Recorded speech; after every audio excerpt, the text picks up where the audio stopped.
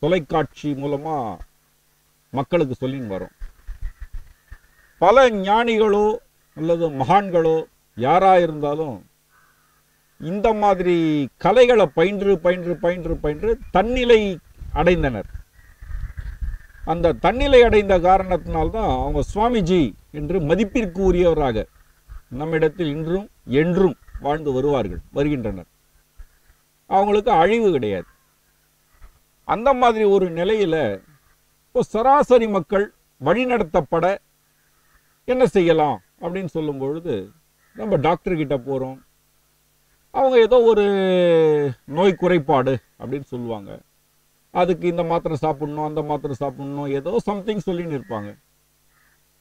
அதே ஒரு சுவாமிஜி கிட்ட போனால் போய் காலையில் எழுந்து போய் குழி கோவிலுக்கு போய் வாணுவாங்க காலையில் என்னால் எழுந்துக்க முடிந்தால் நான் குளிக்கிறத பற்றி எனக்கு பிரச்சனையே கிடையாது. அதுதானே எனக்கு பிரச்சனையே அப்படின்னு சொல்கிறவங்களுக்கு நீங்கள் எப்போ எழுந்துக்கிறீங்களோ பதினோரு மணிக்கு எழுந்துக்குங்க. நைட்டு அஞ்சு மணிக்கு சாயங்காலம் அஞ்சு மணிக்கு தூங்க போங்க. அதை பற்றி கவலை இல்லை. ஆனால் நீங்கள் நார்மல் அப்படின்ற இடத்துக்கு வரணும். இது அப்நார்மல் நீங்கள் நார்மல் அப்படின்ற இடத்துக்கு வரணும் அப்படின்னு சொன்னால் இப்போ நம்ம செய்கிற ஆசன முறை முறைகளை செய்தீங்கன்னா இந்த நார்மலுக்கு வந்துடுவீங்க. இதுக்காக ரொம்ப ஸ்ட்ரெயின் எடுத்து கை காலெல்லாம் மடிக்கணுமான்னா ஒன்றுமே கிடையாது. சாதாரணமாக நம்ம இருக்கிற அமர்வு நிலைகளை சற்றே மாற்றி அமைத்து அமர முயற்சி செய்தாலே உங்களுக்கு இந்த தூக்கம் என்கிற இந்த வியாதி நம்மளை விட்டு விலகும். ரெண்டாவது சோம்பல் போகும். அதுக்கு வந்து தமோ குணம் அப்படின்னு சொல்லுவாங்க. அந்த தமோ குணத்தை விளக்குவதற்கான வழி அதுதான் இந்த இன்னைக்கு கொடுக்க போகிற ஆசன முறைகள். இந்த ஆசன முறைகளை பயன்படுத்தும் பொழுது என்னென்ன நமக்கு நன்மைகள் விளையும் அப்படின்றதையும் நம்ம சொல்லி தான் ஆகணும். ஏன்னா ஒரு ஆசனத்தை பார்க்கறதுக்கு முன்னாடி அதனுடைய நன்மைகளையும் தீமைகளையும் சரிசம அளவில் நிதானிச்சு நம்ம உணர்ந்தாதான் அதனுடைய அதனுடைய ஃபுல்ஃபில்னஸ் முழுமை புரியும். ஒரு மனுஷன் சோம்பி கிடக்கும் பொழுது அவன் எதற்கும் எதற்கும் உதவாத பிணமாகிறான்.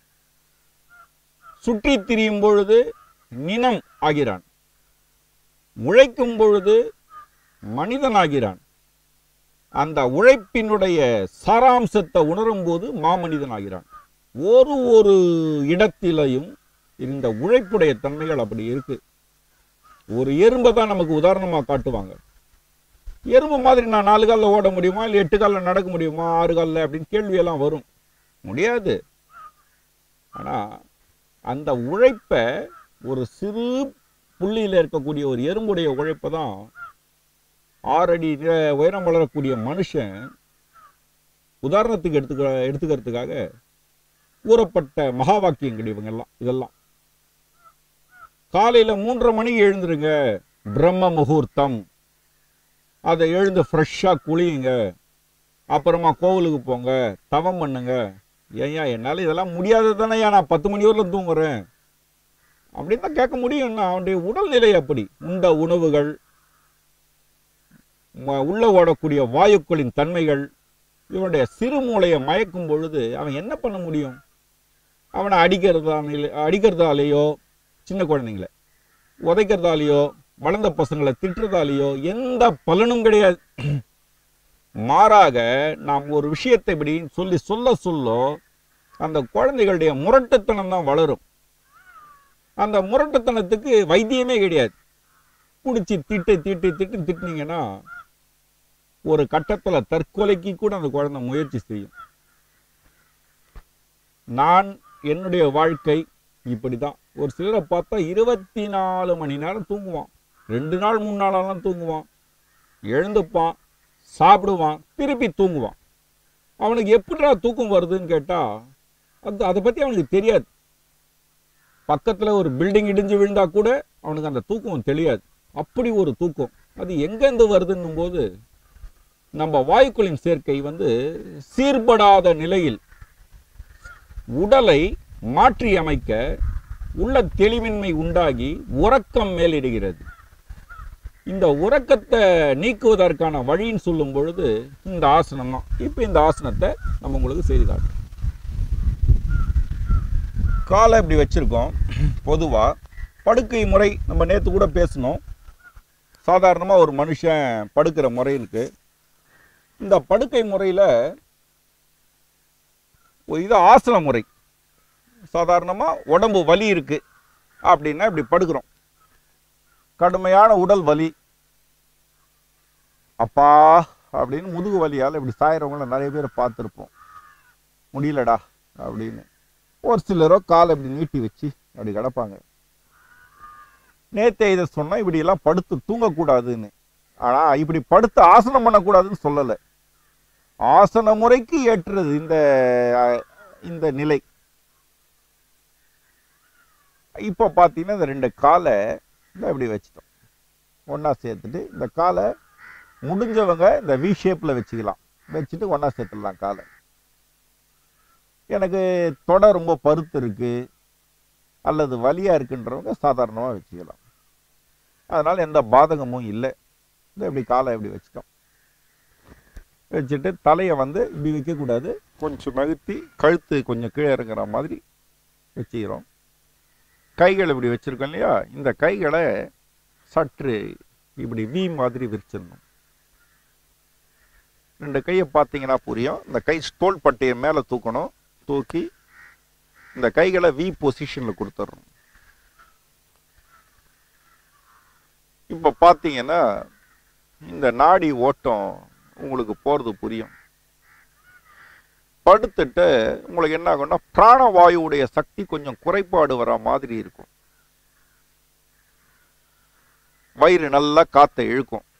அது நீங்களா இழுக்க வேண்டாம். அதுவே இழுக்கிறது தெரியும். அப்படின்றதுல உங்களுக்கு தேவையான காத்துக்களை நீங்க வந்து எவ்வளவு வேணாலும் எடுத்துக்கலாம். இப்படி கிடந்தா போதும்.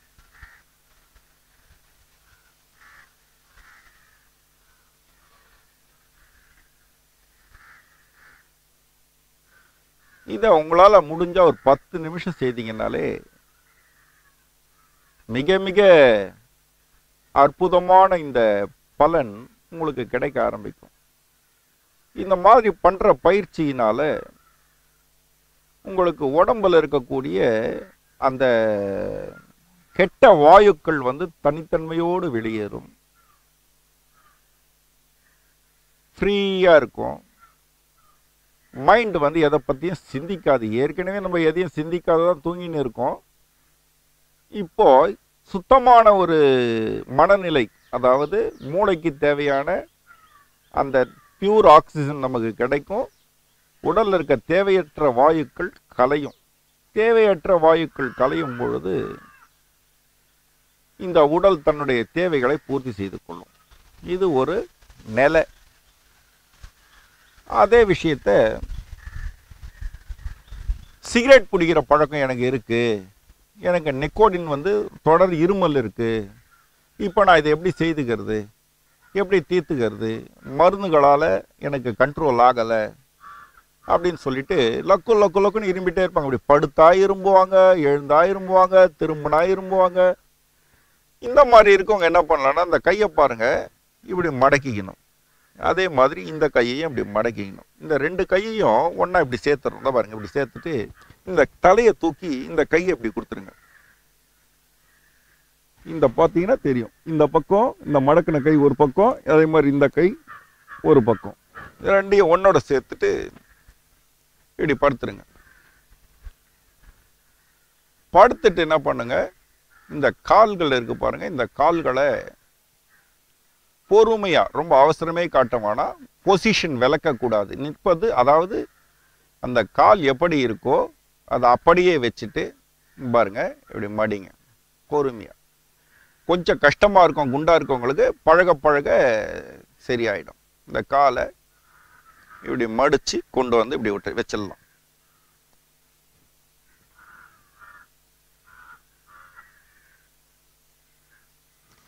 இதுக்கு ஸ்டெயின் எடுத்து மூச்செல்லாம் இழுக்க வேண்டாம். நார்மல் பிரீத்திங் எப்போவுமே இருக்க மாதிரி சாதாரணமாக மூச்சை விட்டுட்டுருக்கலாம் இந்த மாதிரி செய்யும் பொழுது உங்களுடைய இடது கால் இந்த கால் இருக்கு இல்லையா? இந்த கால் வந்து இந்த இடத்துலேருந்து பாதம் வரையிலும் இழுக்கிறது தெரியும். துணை நரம்புகள் பலமாக இழுக்கிறது உங்களுக்கு தெரியும்.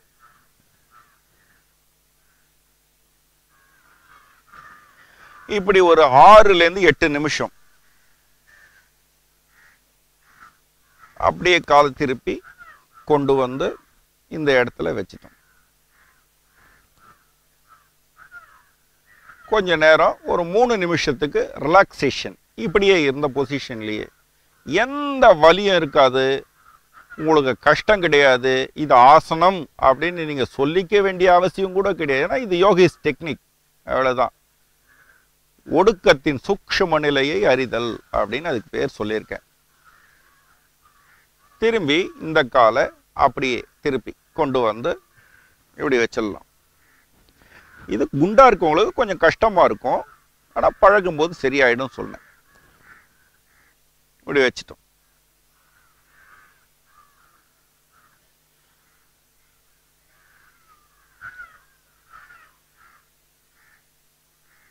இப்படி ஆறுல இருந்து ஒரு எட்டு நிமிஷம் பண்ணீங்கன்னா உங்களுக்கு தேவையான இந்த இந்த சிகரெட் புகையால உண்டாகக்கூடிய அந்த நிலைகள் எல்லாம் அற்றுப்போகும். அதாவது உங்கள் உடம்பை வந்து அந்த லங்ஸ் பகுதியை நுரையீரல் இருக்கு இல்லையா? அந்த நுரையீரல் பகுதியை நிக்கோடின்னு சொல்லக்கூடிய அந்த புகையிலையுடைய அந்த இந்த இது வந்து தாக்காது. அப்படி உங்களுக்கு அந்த நிக்கோடின் புகை உடம்புல பட்டு லங்ஸில் படிஞ்சு இருந்தாலும் படிப்படியாக அவை வந்து விலக ஆரம்பிச்சிடும். விஷத்தன்மைகள் உடலை விட்டு அகன்று விடும் இதன் காரணமாக தொடர் இருமல் சளி தொந்தரவு போன்றவைகள்லாம் நாளடைவில் கொஞ்சம் கொஞ்சமாக கொஞ்சம் கொஞ்சமாக கொஞ்சம் கொஞ்சமாக விலகிடும். அதுக்குன்னு நம்ம சிகரெட் பிடிச்சிட்டே இருக்கணும்னு நினச்சிக்காதீங்க. இருமல் வரும்பொழுது எதையோ ஒன்றை விட வேண்டி இருக்கும் நீங்கள் சிகரெட் போக சிகரெட் பிடிக்கிற பழக்கம் இந்த பான் பராக்கால் ஏற்பட்ட இந்த வாய் புண்கள் சிலருக்கு கேன்சர்லாம் வருது. இன்னைக்கு இந்த மாவா அப்படின்னு சொல்லி சொல்லக்கூடியதை போட்டு முழுங்குற இளம் வயது சிறார்கள் நிறைய பேர் பார்ப்பீங்க. வாய் பூரா பார்த்தா வெந்திருக்கும். அவங்களால பேச முடியாது. சாப்பாடு எடுத்து சாப்பிடணுன்னா கூட கொஞ்சமாக எடுத்து இந்த ஓரமாக வச்சுக்குவாங்க சாப்பிடுவாங்க. அந்த மாவா போடுற மாதிரி கொட்டிட்டு நல்லா காசிக்கிட்டு முன்னே வச்சுருப்பாங்க ஒரு பக்கம். ஒரு ஒரு வருஷம் ரெண்டு வருஷம் பழகிட்டான்னா அவனால் பேச முடியாது. வாய் வந்து நல்லா சவுண்டு வராது. நல்லா முள்ளமாக பேச ஆரம்பிப்பாங்க. வாயை அதுக்கு மேலே திறக்க முடியாது. பல்லெல்லாம் யாரை குறைய தன்னுடைய ஸ்ட்ரென்த்தை இழந்துட்டு இருக்கும் ஐம்பது அறுபது வயசு வரையிலும் கரும்பை கடித்து உண்ணக்கூடிய மனித இந்த ஜா பகுதி செயல் இழந்துரும். இருபது இருபத்தஞ்சு வயசுலயே. ஒரு குறிப்பிட்ட காலத்தில் அது கேன்சர்ன்ற நோயாக மாறும். வெந்து போயிருக்கோம் வாய். அந்த காரணமாக உடல் உருக ஆரம்பிக்கும். அந்த உருக ஆரம்பிக்கும் அதாவது டிபின்னு சொல்கிறோமே அந்த நோய் வர்றதுக்கு எதுவாகும் இந்த ஆசனங்களை பழகும் பொழுது இதெல்லாம் சரியாக போயிடும். அதே மாதிரி வாயை வந்து எப்போவுமே ஒரு ஷேக்கிங் கொடுத்துட்டே இருக்கணும். இந்த மாதிரி நிலையில் அமர்ந்துட்டு வாயை அப்படி ஒரு அசக்கி இந்த அசக்கி கொடுக்கறது நல்லது. அதே மாதிரி க இந்த வாய் பகுதியை கடவை இந்த வா- இந்த கீழ்ப்பகுதியை.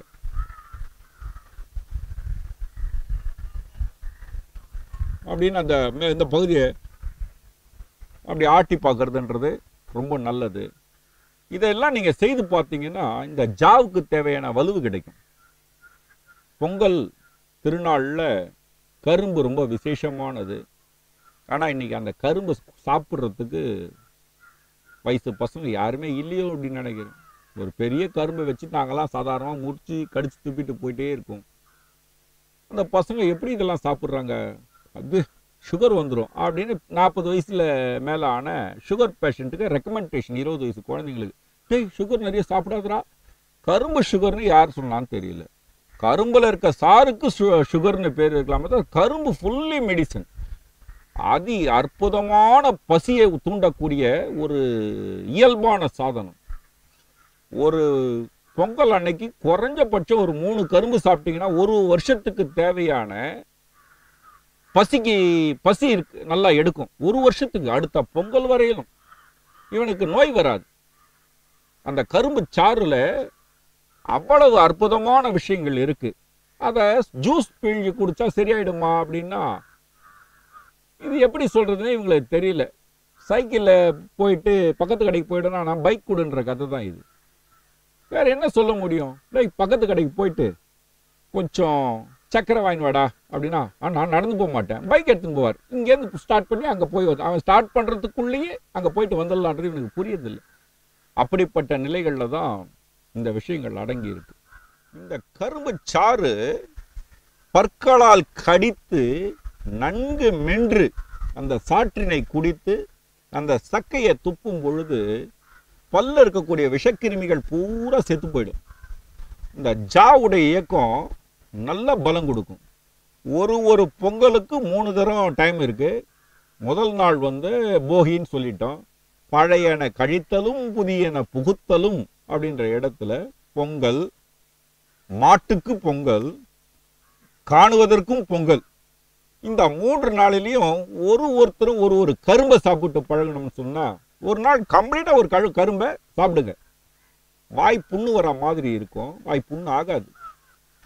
சாப்பிட்டு பார்த்தீங்கன்னா அந்த நாவின் அறுசுவைகளையும் இந்த ஒரு வருட காலத்திற்கு தேவையான எனர்ஜியை இந்த கரும்பு சக்கரை நமக்கு கொடுக்கும்.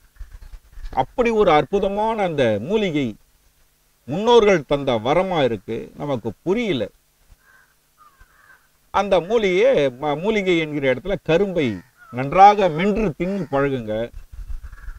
உங்களுடைய உடலை கரும்பை போல் உறுதியாக்கி கொள்ளுங்கள். பற்களை பாதுகாத்து கொள்ளுங்கள். தேவையற்ற த- பழக்க வழக்கங்களில் ஈடுபடாது.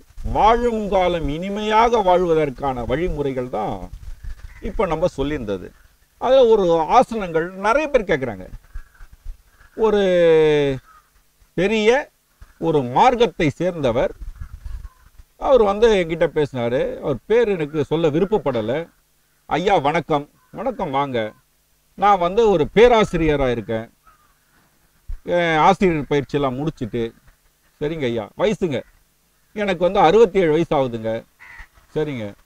நான் வந்து பெரிய ஐயா கிட்ட வந்து உபதேசம் எடுத்தேன். சரிங்க. எத்தனை வருஷம் ஆச்சு? நாற்பது ஆண்டு காலம் ஆச்சு. நல்லது. இப்போ அறுபத்தெட்டு வயசு. என்ன என்கிட்ட எதிர்பார்க்குறீங்க ஐயா? ஒன்றும் இல்லையா? எனக்கு மன நிம்மதி இல்லை. நான் எல்லாருக்கும் மன நிம்மதிக்காக இந்த வகுப்பை போதிக்கிறேன் ஆனால் மன நிம்மதி எனக்கு வரலையே அதுக்கான ஆசன முறைகள். ஒன்றும் இல்லை உட்காருங்கன்னு சொல்லிட்டு இந்த காலை மடக்கி பத்மாசனம் போட சொன்னேன் இப்படி போட்டார். போட்டு நிமிர்ந்து உட்கார சொன்னால் அவரால் முடியல. இருந்தாலும் என்னால் முடியுது. இப்போ போட்டு உட்காந்தாச்சு இந்த ரெண்டு கைகள் பார்த்துங்க மடக்கி இப்படி சேர்த்துக்க சொல்லி வச்சுட்டு இந்த கைகளை இப்படி வச்சுங்க. வயிற்று பகுதியில். வச்சுட்டு இப்படி ஒரு இருபத்தைந்து நிமிடம் இப்படி அமர்ந்தீங்கன்னா உங்களுக்கு யோக அபியாச பயிற்சி பெற்றவர்கள்.